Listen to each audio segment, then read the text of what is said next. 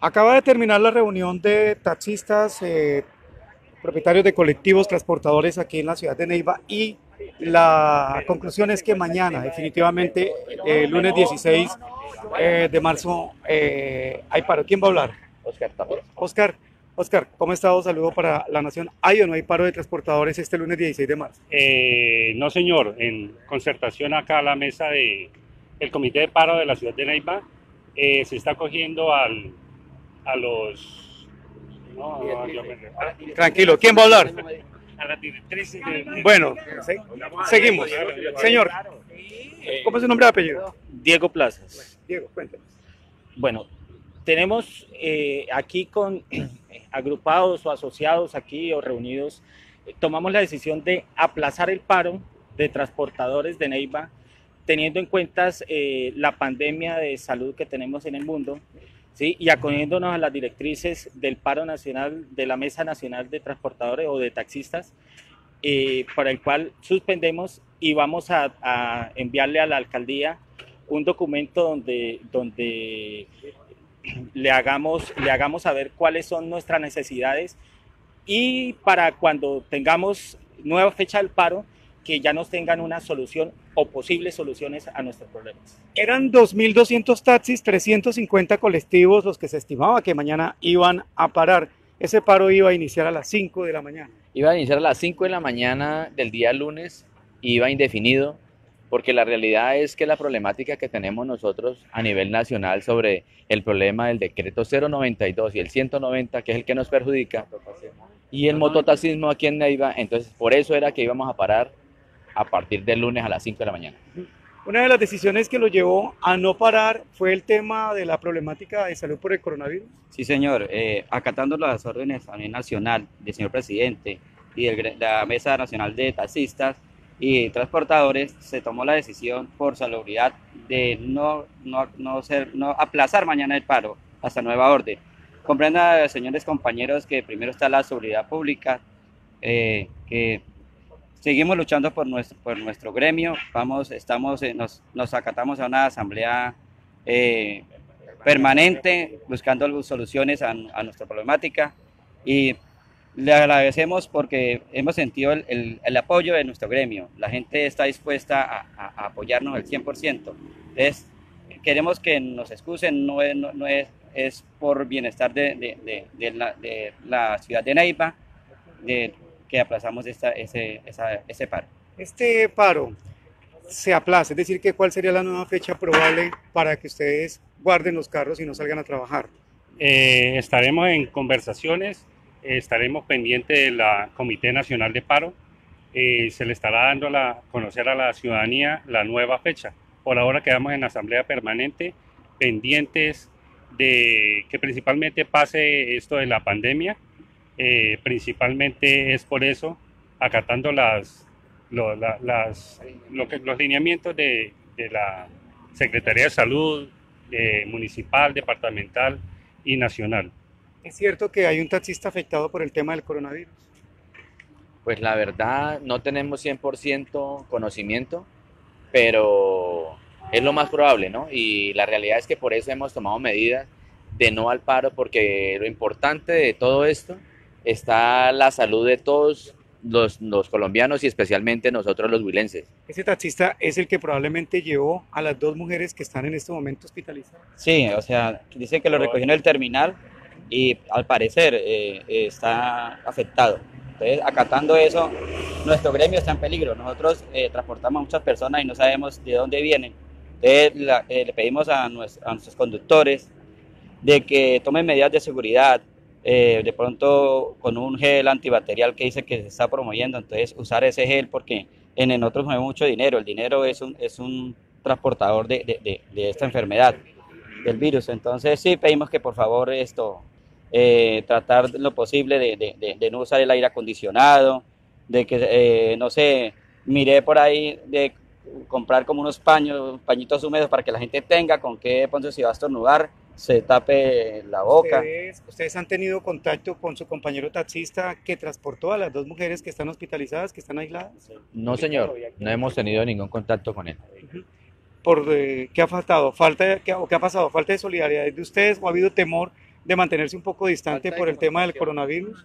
No, es falta de comunicación porque la verdad no teníamos conocimiento, eh, hasta apenas por las redes es que han salido.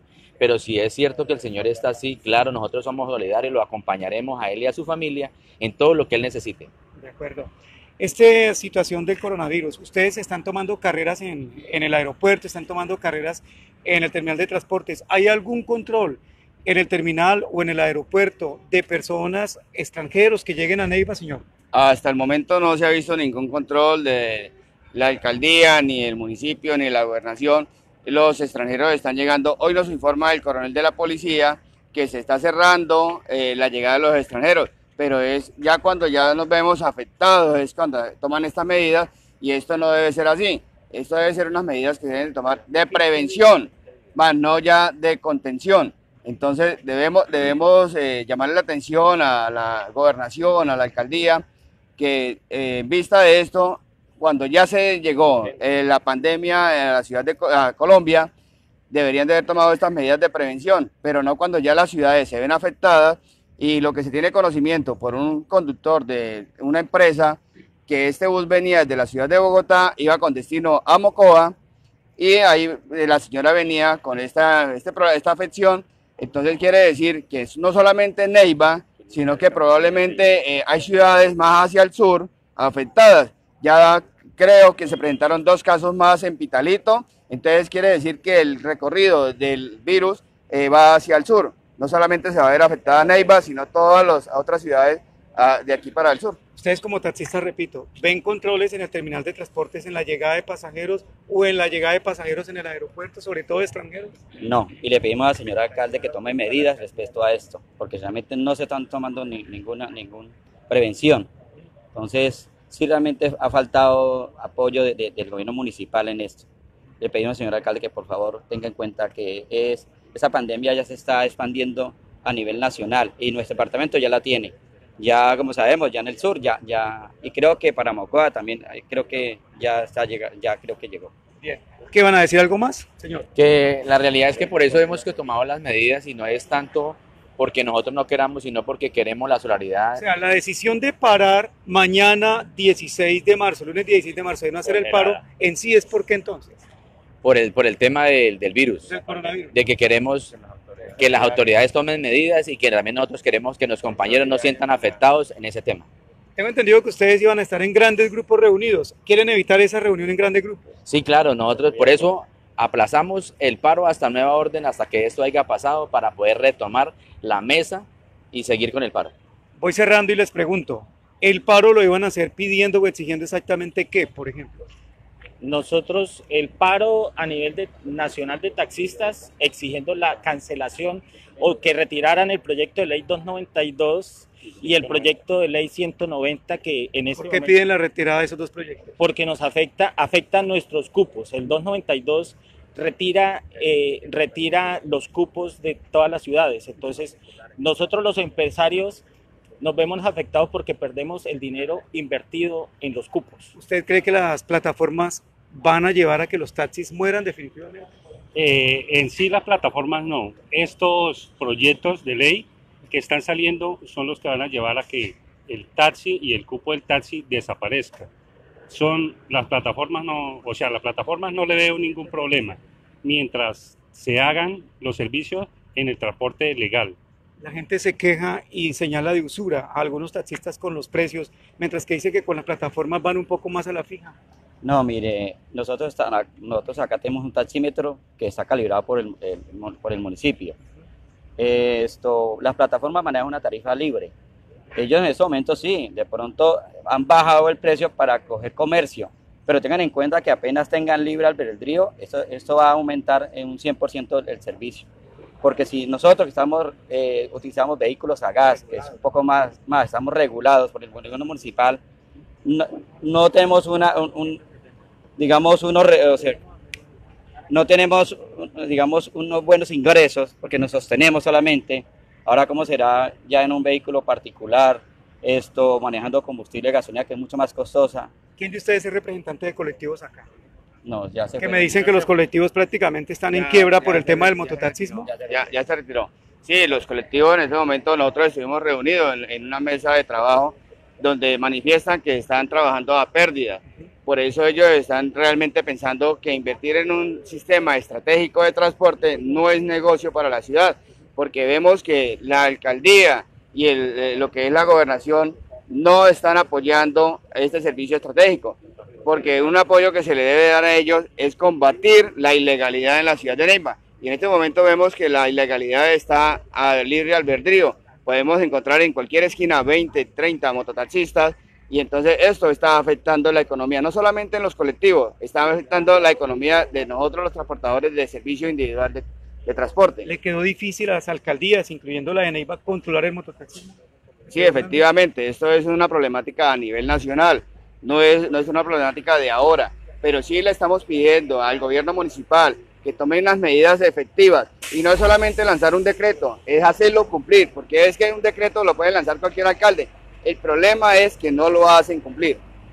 Ustedes estaban como molestos porque el alcalde ya no dice mototaxistas, sino mototrabajadores. Sí, señor, imagínese el nombre que le han dado a estos señores mototrabajadores cuando son informales. Es que ellos no tienen ningún permiso, ninguna regulación, no pagan un impuesto, no pagan un seguro, pero el señor alcalde les dijo que eran mototrabajadores. Me parece inaudito de parte de nuestro señor alcalde. Bien, pues estos señores han estado reunidos durante varias horas aquí y hay una noticia que puede gustarle a la ciudad de Neiva. Ellos están estudiando la posibilidad de disminuir el precio en la carrera y de disminuir el precio en el servicio de colectivo. Óigase bien, cabe la posibilidad de que la carrera mínima de taxi en Neiva quede a 3 mil pesos, lo repito. Cabe la opción de que los taxistas en las próximas horas, luego de una reunión, decidan si toman la carrera mínima a 3 mil pesos y si dejan el servicio de colectivo a mil. Esto para incentivar a que las personas no usen el mototaxi y para motivarlos a que sea mucho más masiva la utilización de taxi como también de, de colectivo. Señor. Eh, cabe resaltar y agradecerle a los compañeros, al ente periodístico y llamar un poquito a la administración municipal en cabeza del doctor Gorky Muñoz Cardilón, nuestro alcalde, para que en conjunto con la Secretaría de Salud inicien campañas de prevención de higienización de los taxis en las empresas. Hay nueve empresas de taxi. Cuando quiera estaremos dispuestos para iniciar esa campaña con la Secretaría de Movilidad. Vemos pertinente, urgente, por ejemplo, en esta semana pasada estuvieron dos italianos allá solicitando una planilla de viaje ocasional. No sabemos si esas personas realmente pasaron por un control. Entonces la invitación a nuestro alcalde es para que, en conjunto con la Secretaría de Movilidad y las nueve empresas de taxi, iniciemos campañas de higienización a los taxis. Bien, hagamos un sondeo rápidamente. ¿Le suena carrera mínima a 3 mil pesos en Neiva? Estamos haciendo el estudio. ¿Le suena carrera mínima a 3 mil pesos en Neiva? Estamos estudiándola. ¿Le suena la opción de cobrar mínimo carrera a 3 mil pesos en Neiva? Yo diría que podríamos hacerlo como en Oro Valle. Pues, pero tenemos que primero socializar con el gremio porque esto es una, una decisión que nos toca hacer una asamblea y mirar la, la parte económica del, del- del- Se lo digo porque he hablado con líderes de taxistas y dicen que es la mejor forma de hacerle competencia a este proceso de mototaxismo. ¿A usted le suena carrera mínima a 3 mil pesos en Neiva? Claro, hay que socializarlo y podemos darlo en las horas pico. En las horas pico le podemos estar ayudando a la gente, pero hay que socializarlo con todo el gremio porque nosotros somos, para eso somos un gremio individual. Entonces hay que estar en un consenso con ellos. ¿Le suena bajar servicio de colectivo a mil pesos para que la gente use el colectivo? Sí, claro, sí, señor. Es una forma de incentivar lo que es el uso del transporte público masivo y lo de los taxis eh, sería en horas valle, sería horas muertas, donde incentivamos. Horas y muertas son, podemos- por ejemplo, expliquémosle un poco a la gente del común, la hora valle, hora muerta es, por ejemplo, entre qué y qué. Hora valle sería desde las 9 de la mañana hasta las 11 de la mañana, desde las 3 de la tarde hasta las 5 de la tarde. Y en la las- noche, En la noche no, porque se viene el recargo nocturno, entonces eh, no se puede no se puede rebar. Serían entre esos dos horarios. es una posibilidad mientras Es una ustedes lo posibilidad estudian. que se puede estudiar. Sí, señor. ¿Le suena colectivo a mil? De acuerdo a lo que estuvimos hablando con, con algún grupo de, de- de propietarios de carros, de, de colectivos, ellos están contemplando la posibilidad de bajar los precios teniendo en cuenta que también las horas valle, teniendo en cuenta las horas valle, para beneficiar, eh, para, digámoslo así, contrarrestar con, con, con el desincentivar el uso de la moto, para ser más claro. De acuerdo. El último sondeo. ¿Le suena taxi, carrera mínima a 3 mil y servicio de colectivo a mil pesos? Eh, lo de los taxis hay que socializarlo porque pues hay que socializar con todo el gremio. Lo de los colectivos, eh, en reunión con una de las directivas, eh, nos comentó eso, que no las valles la bajarían a mil pesos, pero todavía no es nada seguro. Bien, mientras estos señores deciden, esta sería una propuesta piloto para el país. Si se inicia en Neiva cobrando la mínima a 3 mil y además de eso, cobrando colectivo a mil, sería una experiencia piloto en Colombia. Si les va bien, probablemente otras ciudades del país tomen la misma decisión.